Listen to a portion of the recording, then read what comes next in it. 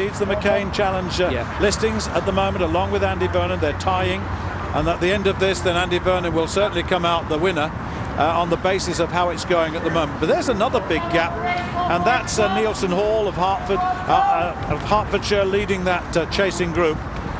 You know, as I'm looking at this, I'm thinking that the, the Steve Vernon option um, for being added to the perhaps the first four that finish here, five maybe, is looking like a plausible one for the selectors. I mean, who knows? It, it depends how he runs where he's racing in Belgium today. I, it's a high-risk thing not to have raced here, but as the gaps open up and the possibility exists that he could strengthen the team and persuade Vernon that they've got a shot at the bronze medal or something of that kind. Certainly Farah, uh, the way he's looking here, he, he's back on form, and if another two weeks got him a little bit sharper and a little bit track sharp, you know, it's not a bad side that, that Britain could field in this.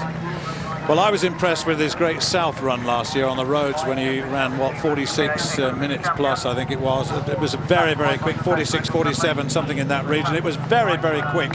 And uh, really, on the basis of that, you felt, my goodness me, this guy is going well. Then he had the problem. Then he had this little bit of a hiccup in the way in which he ran in the Europeans and again in Edinburgh, but yeah. now it seems to be sorted with 5,000 metres to go. That's his distance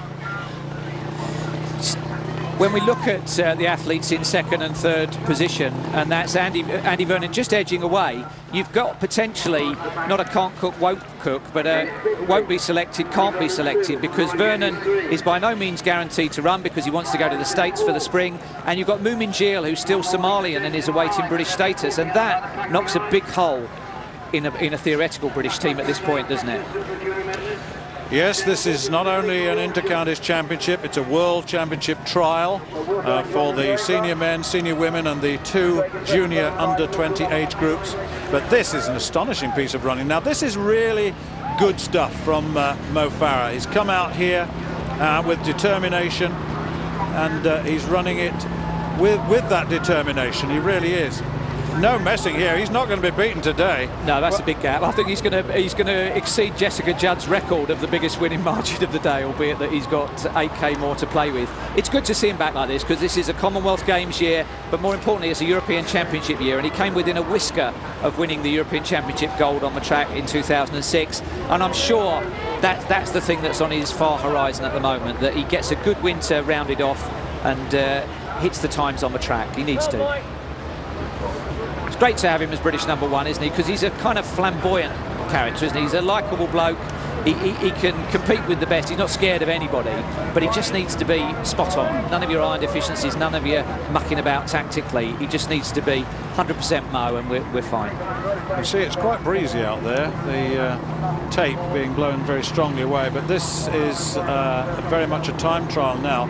Although time's not significant, it's it's it's the manner in which the race is being run and a little look over his shoulder there and uh, he's run away from Andy Vernon. We didn't expect this. Well, further back down the field, there's several races in one. Trying to uh, just see the number there. I think is that a Humberside vest. That's uh, Owen Flage of East Wales. That's the East uh, Wales singlet in purple. We haven't seen a lot of them at the head of the field, but he's seeing it through, selected for them. Highest represent representative honour if you're short of international, and uh, good on him. Meanwhile, look at the stride length here he's achieving on that flat part of the course and there's not much of that flatness around this course but uh, this is Mo Farah at his very best. This will have given him all the confidence in the world, it really will, uh, to go through to those uh, championships and to really attempt to get amongst the Africans because he, he, he's good enough if he can believe in himself and if he's right with just 4,000 metres to go. Yeah, he's, he's put himself in a situation here where he can relax. He's not looking back. He's not bothered. And uh, it, it, was it was uh, canny the way that he ran the opening lap because uh, he knew he'd got the extra gear on his bike that would bring him back into contention. But the way he's just uh, kept the hammer down since he got clear, not looking back, just giving himself that intensity of workout. I hope he does go to the World Cross. Um, I remember watching him in Mombasa when he broke through to top 10. Uh, he's got that pedigree and he, he can mix it. Yeah, he did well in hot and very, very humid, and he survived that one and did well. But that is a wonderful shot of a man at his very best. A it's man at the peak It's a, it's a great course as well, don't you think, Stuart? Oh, yeah. I mean, it, it, we're on to the last race. The course has held up. The spectate, the, the spectating support has been tremendous. The athletes have uh, responded well, and I think this is as a new home, like the crucible for snooker. I think I think Cofton Park is going to be a good place for people to target their winters to in future. When you consider how well Andy Vernon has been running um, and the performances that he's had, then you know you've got to admire the performance that Mo Farah is putting in here. I mean, this is exceptional stuff. It really is. I mean, uh, to win the English national and to be this far behind a fella um, who really started, as you say, very, very steadily, built it. But, but what also impressed me was the manner in which he just simply put the pedal down and moved away. Yes. Um, it was it was something that you, you- when you're running behind a guy like that, I'm sure that it, it, it would be very worrying to think now, hang on a minute, am I going to go or I try to go, as Andy Vernon must have thought, or am I going to stay back and hope that he's gone too early? And you can see Mike Skinner in the background there in fourth place. Um, he leads, as I said, the McCain Challenge along with Vernon. They're the two contenders. Yeah. Uh, Mo's not involved in that. He's uh, this is his real race over the country to establish himself and to establish his confidence and to go for the big one. The World's in Bydgoszcz in a couple of weeks' time. I was thinking yesterday about the, the difference. I mean, they're very different physically runners, and they've had a different kind of winter. Uh, and we were we tended to be very impressed with with uh, Vernon running 7:49 indoors as he did in uh, Birmingham last month. But but Mo broke the British record. Mo's a 7:30 low. Uh, 3,000 indoor runner, so it is a different step again. So as long as he's at his best, he, he's a terrific athlete. You can see how windy it is now. That uh, was just a breeze early on in the day, but now as we get well into the afternoon, it's past three o'clock. It's uh, it's getting very very strong indeed. And when they come uh, from the bottom of the course to the top of the course, it's right in their faces. That's another little problem.